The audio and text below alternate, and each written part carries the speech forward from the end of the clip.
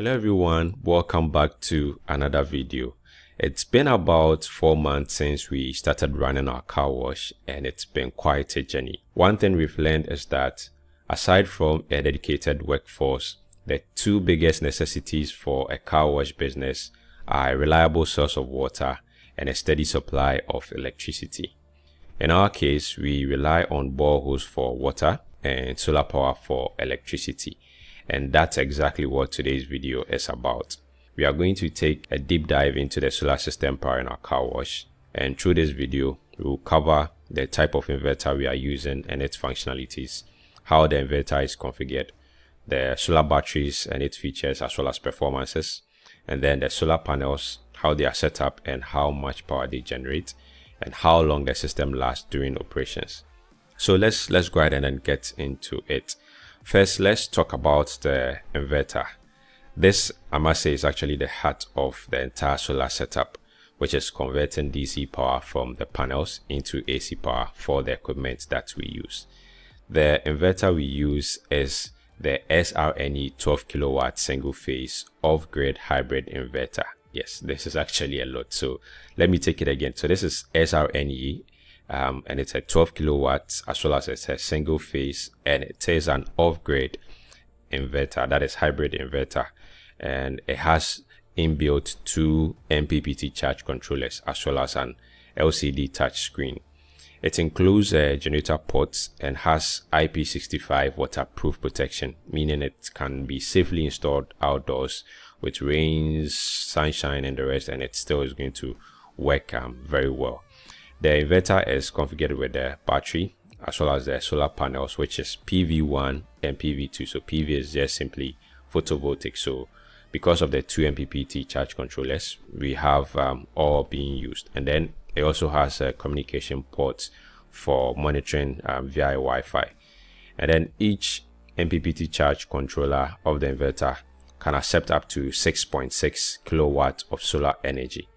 So giving a total of 13.2 kilowatts when maxed out. So if you combine the two MPPT charge controllers, each is giving 6.6 kilowatts. So when you put the two together, then you have a total of 13.2 kilowatts of um, yeah energy. The inverter, as part of its functionality, is able to power up to 6 um, horsepower of motor-powered devices, making it ideal for our pressure washers. As an off-grid um, inverter, it can run on solar power alone during the day. So in case we're not having batteries um, as part of the system, during the day, the solar panels are able to generate energy. And because of the type of inverter we have, we'll be able to use the energy directly from the solar panels without a battery to store them during the daytime. Yes, so that is how it works.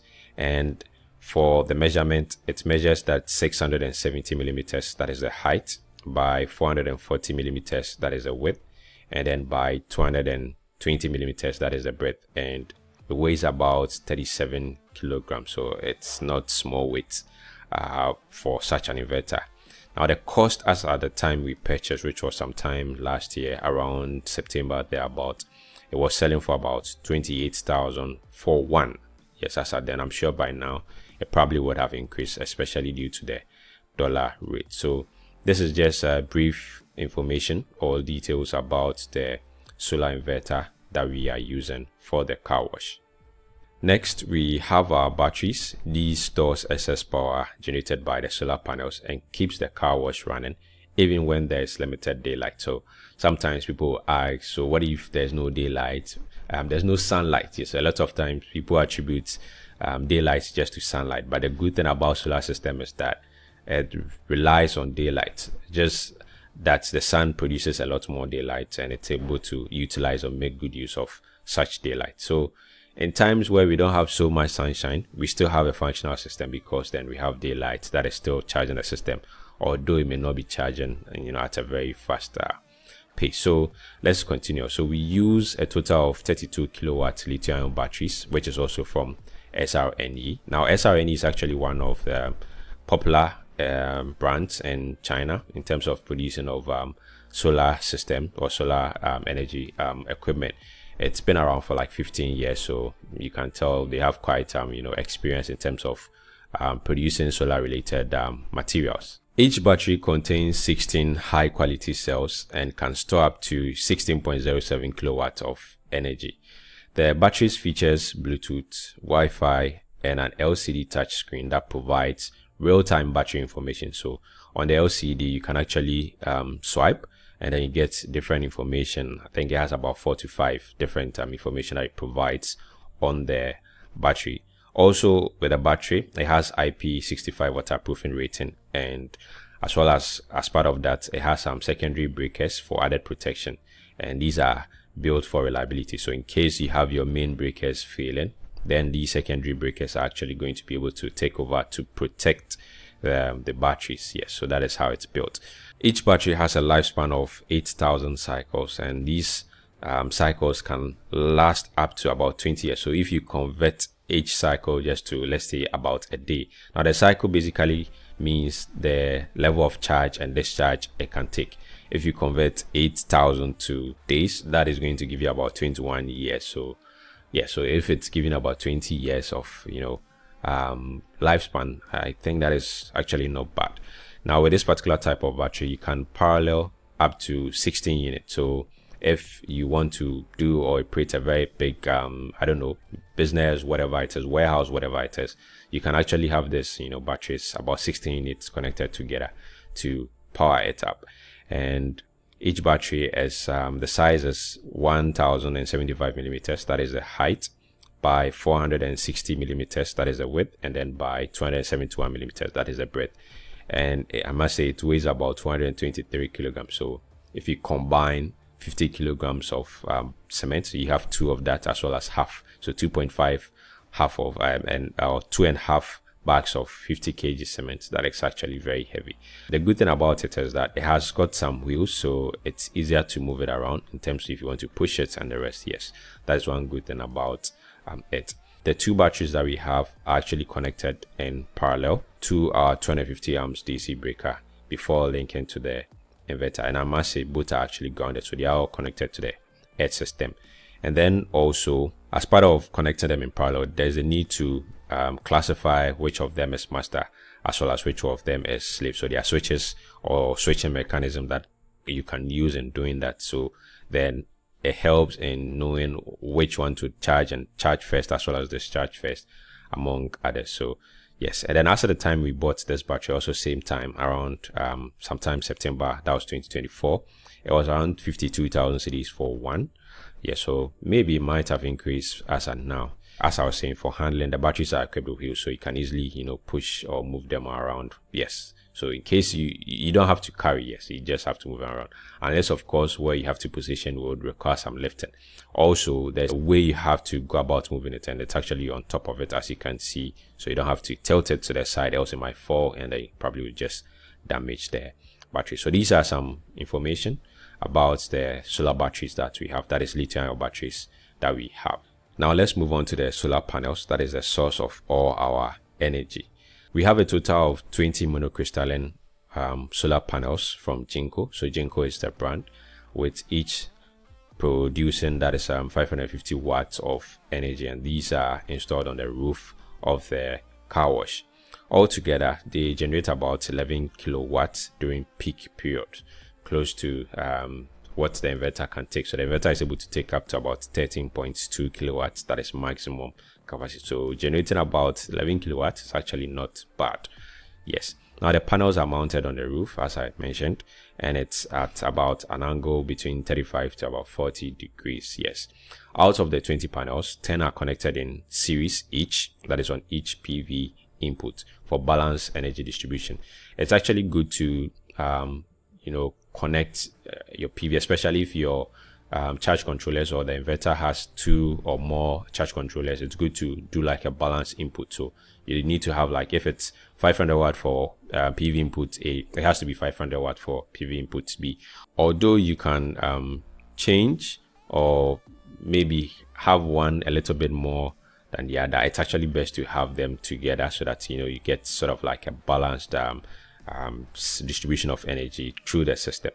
Now each panel measures 2279 millimeters, that is the height, by 1134 millimeters, that is the width, and then also by 35 millimeters that is the breadth. Yes so that is how um, or that is the dimensions of the solar panels.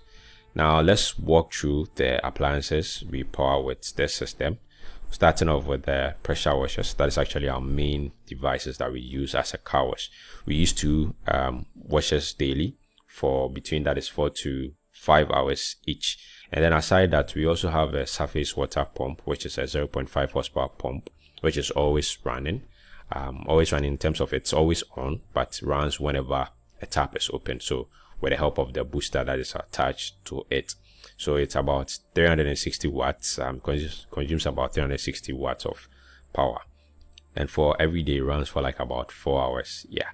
And we have a tv which is 32 watts runs um, for two to four hours a day yes. And aside that we also have a display fridge which consumes about 120 watts and it runs for 24 hours throughout. So it runs every single day it's on. So that's what we use in chilling our drinks as well as water that we sell at the car wash.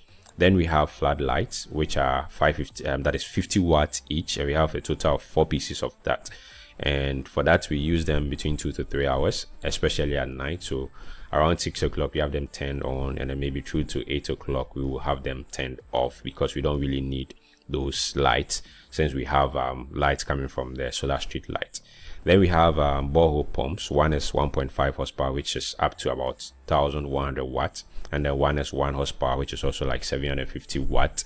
And we run them not together, run them one at a time. So maybe one day we can choose to run the um, 1.5 horsepower. The next day we can run the 1 horsepower. So that's how we go uh, about them. And then we run them for like about an hour. Running them for about an hour is able to fill our tank, depending on the level of water that is you know has been used and has to be filled uh, back.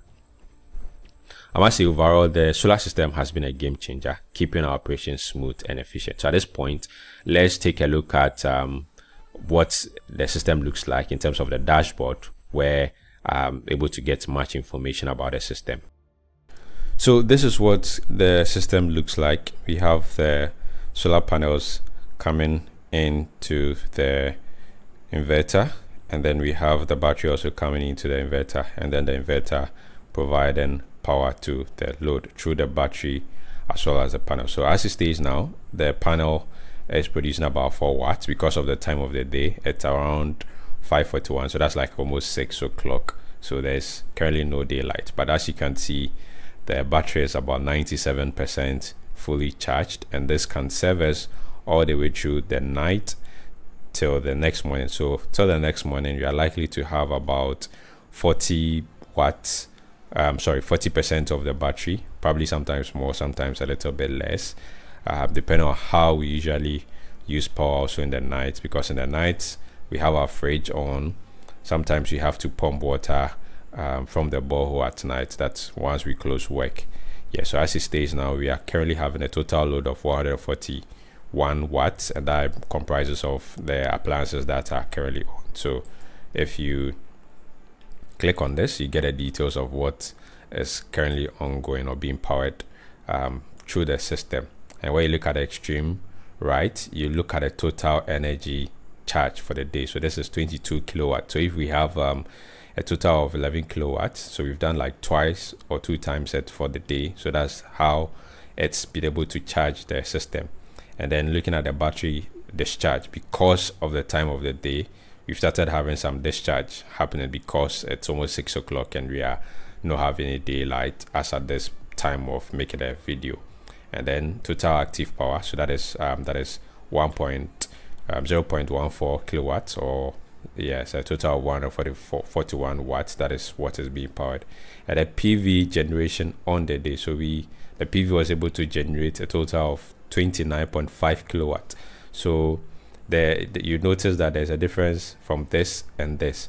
One good thing about the solar system is that with um, excess power generated some of the power directly goes to the load which is being powered on. So out of um, 29 kilowatt we can say about 7 kilowatts was used to power um, some of the appliances during the daytime. And then 22 um, kilowatt was used to charge the batteries so that is not bad and then you have PV uh, cumulative power generation. Yes, so um, that is just an overview of what the system looks like. Yeah, because we are not connected to the grid at Telkom, we don't have any grid power over here. So this system is actually giving details for both our home as well as um, the car wash, and we can get some more information about the devices that are being used. So as I've shared with you um, some of the information in terms of the devices, you get to find more details about them as well here. And then if you want to get an overview of in terms of the number of power that has been generated, discharge among others, you're able to also do so using the um, the graph or the chart over here. So we can look at um, charge and power, we can look at battery energy, can look at um, total energy and all these things. So you get a, a, good idea of how the system is performing yes, this will give you information as to how the system has been performing over a certain period of time. So you can go back and then see how it's been performing. So all these information has you know details to it. So if I hover over it, you notice that I'm getting some information. So this is how sometimes I'm able to monitor the entire system. So I'm also able to use an app that um, smart ESS um, app on my phone, which equally gives me the same information that is being given over here. And then you can see more details on specific days. So in case there's any fault, then you have an alarm. So usually this occurs when we have like low battery and this, I think it's happened like twice only where we had um, batteries run um, low because of how we, we didn't utilize power well. So that's one good thing about solar system. If you study the system and you know how to you know use your power. You always have power and we have challenges with it. So that's one thing we've had to learn uh, for some time and be able to you know use power wisely. So because we are on a limited power yes this power is limited. Uh, it's not an unlimited power. So this is also um, a way to track the system using the app and then also be able to um, know how it's faring. Should in case there's any challenge or something then you're able to do something about it. So that wraps up today's video. If you found this video helpful or have any questions about setting up a solar powered business, you can let me know in the comment section. You can always also reach out to me via WhatsApp and I'm definitely going to be able to assist with that. And of course, if you want to, you know, have my services in terms of um, designing and installing a solar system, you can always reach out and look at that. Now, for all these entire systems that I've mentioned, um, I must say that they were supplied to us by Sunsum Solar. So Sunsum Solar is a place where you can get all your solar um, related uh, materials, being it panels, inverter, charge controllers, um, batteries, breakers, um, cables, almost everything you can think about with regard to solar system, you can get them from Sunsum. So you can contact them using their contact details on the screen as well as in the description and of course do what to mention my name. I'm sure probably you may be able to get some discount on your purchases. So that'll be just about it for today's video. In case you've not subscribed kindly go ahead and hit on the subscribe button.